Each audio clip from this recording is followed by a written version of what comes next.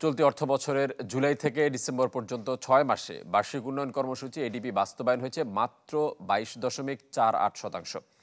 পরিকল্পনা মন্ত্রণালয়ের বাস্তবায়ন, পরিবীক্ষণ ও মূল্যায়ন বিভাগ আইএমইডি থেকে প্রাপ্ত তথ্য ঘেটে দেখা যায়, বাস্তবায়নের এ হার গত চোদ্দ অর্থ বছরের একই সময়ের মধ্যে সবচেয়ে কম।